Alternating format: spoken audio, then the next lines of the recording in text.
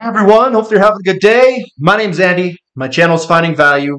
Uh, today we're going to do the daily technical analysis update of commodities, work our way through the dollar, yields, precious metals, and commodities and ETFs that I follow.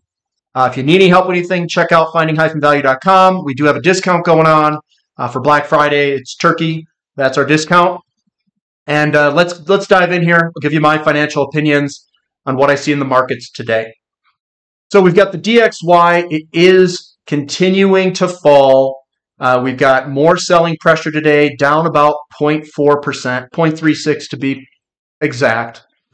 Uh, and maybe we're coming back to this good old long term support level down at close to 101, 102. Yields moving on higher today. Yields up a percent, so we're moving sideways uh, in yields, maybe even slightly higher uh, with the two year. Uh, even though we are below this pattern that we've broken out in the channel, and we are below it. 10 year yield, could this be a break to the upside, or are, is that a false breakout? Only time will tell. But right now, yields on the 10 year are up 1.3% roughly, and the 30 year also up 1.23. Now, is this a valid falling wedge where we're going to continue on to the upside? We'll find out over the next week. Uh, next week. TYX TNX ratio basically flat. So the yield curve not really moving too much today. Uh, bond prices down with yields up. Do we have more downside left? Uh, generally speaking, it's the size of this entry point uh, that will tell us kind of roughly what the projected move would be. Uh, so we do have further downside left if it decides that this is a legit pattern and that we're going to get that pullback. So higher yields, lower bond prices, uh, as expected. Uh, gold up $10.2 per ounce. I think this looks really good. Uh, we're, remember, we're coming up, and if I were to just, I'm going to draw this in real quick, guys. Um, we didn't close up here, so I'm going to take closing prices. We've got resistance there, and we've got that there. So that looks like to me that we're going to try to break to the upside. Now I can make this look a little bit prettier. Um, what I'm going to do is I'm going to do a horizontal line here. We're going to put it right kind of on this resistance. Uh, and we've got resistance back here, resistance here that we hit. So I think if we can clear this 20 $2,020, if we can get above, I would say there's strong resistance up here too. Man, if we can clear 2040, we're off to the promised land. Uh, but what looks good is that we've got the big green army showing up, the big green candlesticks. We've got a bullish engulfing today. Uh, I think we're going to try to go for it, and we'll see what happens next week uh, for gold prices. We're going to try to move on, move on up. Uh, silver also participating in the bonanza, 2.8%. We've got this little um, pattern that we're breaking to the upside. And if we take a little bit longer term view, I think we're going to go for it here uh, and see if we can punch through. Uh, we've been unsuccessful historically punching through this thing, but uh, you knock on the door hard enough and long enough, it's going to develop cracks. We're going to bust through this thing at some point. So silver's looking good. We'll see uh, if we take a crack at it next week and if we can hold above that upper $24, $25 uh, level and see if we can break through it. Platinum also heading a little bit higher. I like the resiliency. It sold off in the beginning uh, of the day here and then just bounced back hard. So that looks really good. Uh, I like that trading action and how it just bounced right back up. Uh, Palladium also finding support right on that support line. Uh, I think we could see a move higher in Palladium as well. Uh, XAU to gold ratio, we're, we're slightly lower in it. Basically a sideways move day to day. Uh, so not much with the gold and silver mining companies. No all outperformance or anything like that going on today. Uh, CRB index is down. We are in that nice little pattern that I created. Uh, and it looks like we are creating kind of a, th a three hump. Maybe this is the hump there. It's kind of hard to see. Uh, looks like we're consolidating in a falling wedge, and I think eventually we will crack to the upside. That's my guess. Uh, CRB to S&P 500 still getting a little bit more selling pressure there. Um, could this also be uh, a big falling wedge? Kind of looks like it to me, boys. Kind of looks like it. Um, big falling wedge, perhaps. Uh, we've got the one, the two hump, and the three hump. Uh, and, and, again, this can do a false breakdown before breaking to the upside, but uh, maybe we've got a, a, falling wedge here, false breakout, falling wedge. Uh, but I think think we are going to eventually end up to the upside here. GDX moving sideways right at support, or I mean resistance, I should say. Uh, GDXJ also at resistance if I drew one in there, and SILJ also up against resistance that I've got drawn in there. So we're just at resistance. if silver can break through its massive uh, trend line, we're going to be off to the races. Uh, and I think I think the gold and silver mining companies are going to they're, they're going to partake in it as well. Crude oil is down, but we're still above the support level. Uh, I like the way that this thing looks. So we've punched through. We've got a little bit of a pullback, and then I think we are going to take off to the upside.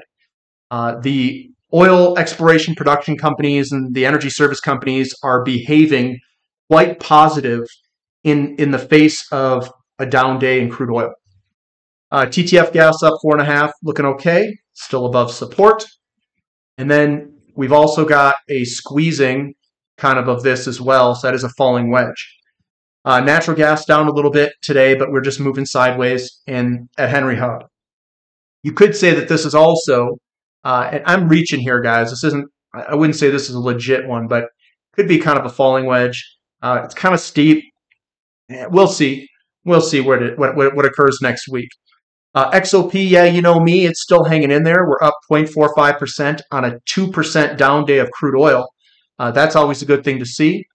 Uh, we are underneath that big neckline. We want to break that. It's going to take some power. It's going to take some time. Be patient here.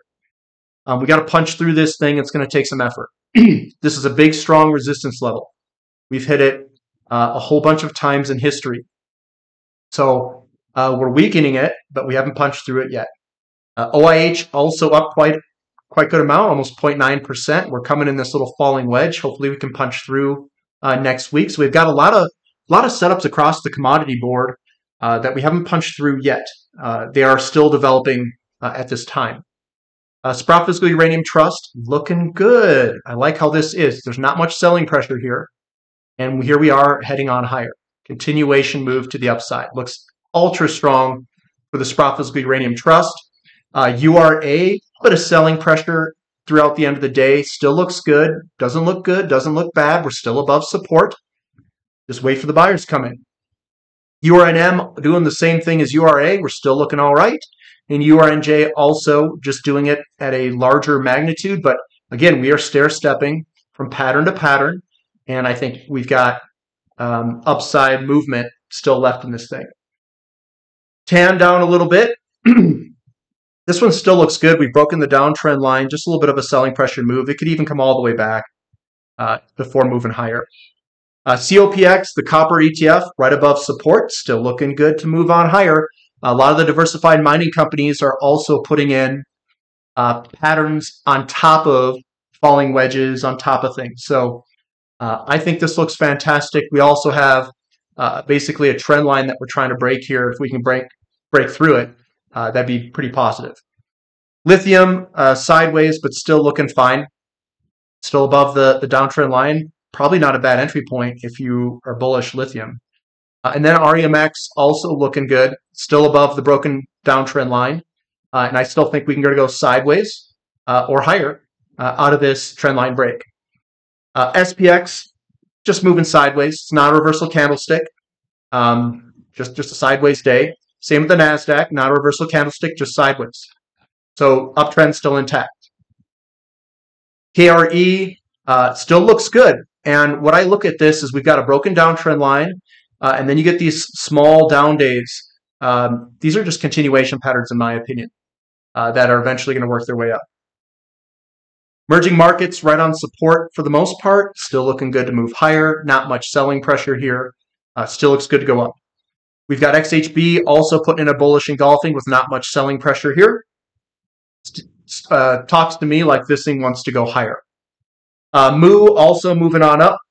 Uh, I like that you get these like flag patterns that are pointed downward. That generally means it's a stair stepping pattern to the upside. Uh, so everything's still intact for Moo. Still looks good. We're real low, uh, right above support uh, I think it's a good location to be looking at particular companies in agribusiness ETF. Uh, copper up 0.7%, not too bad. It's holding on to support. Uh, we'll see if we can break next week uh, and get above all of this clear uh, congestion area.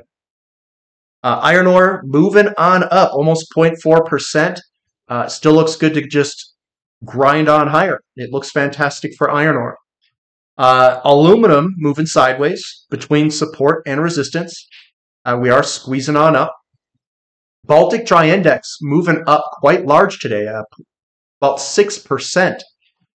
Uh, still looking good, still above support. We've broken out of the falling wedge. Uh, the projected price move is generally something like this, uh, somewhere in that range up there. And that, I think that's eventually where we'll we'll go. And it doesn't mean we just stop there. It could go way above that. But that's the projected move of that falling wedge. Newcastle coal futures still looking fantastic with the bullish action down here. I think we are going higher. This would be a great location to be looking at potentially picking up coal companies. Uh, we are basically on top of the base. This is the base. This is the the line that's on top of it, the trend line top of the base, and we're doing a re- retest move here.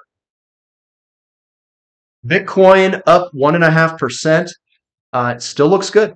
Uh, we've got strong resistance kind of right there. We've got a kind of a pattern that looks like that. We're trying to break out.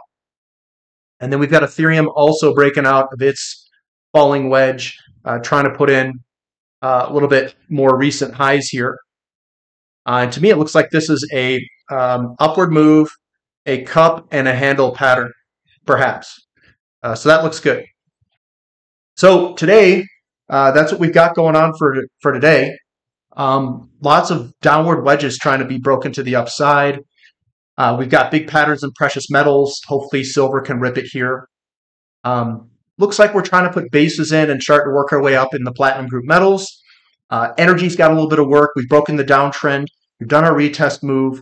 Uh, now we just need buyers to step in here. So most everything looks pretty good. Um, if, if if something occurs in the market where they lower rates or something goes on with the government, something's going on because Bitcoin and Ethereum they look like they want to break higher. If they break higher, that makes me think that liquidity is coming in the market. Uh, gold is probably going to follow suit along with silver. Uh, it's just so weird that all of these are aligning for a move. Uh, makes me think that liquidity is coming to some degree. Maybe the banks already know that liquidity is coming in their positioning uh, for that uh, move, and we're just seeing the traces of the move. So um, that's what I've got for today, guys. Uh, so give me a thumb up for the content, subscribe to the channel. Uh, subscribe to the website if you like. We've got a 7 a.m. question and answer session coming up on uh, Saturday tomorrow. Uh, so I'll see you there. All right, guys. We'll catch you later.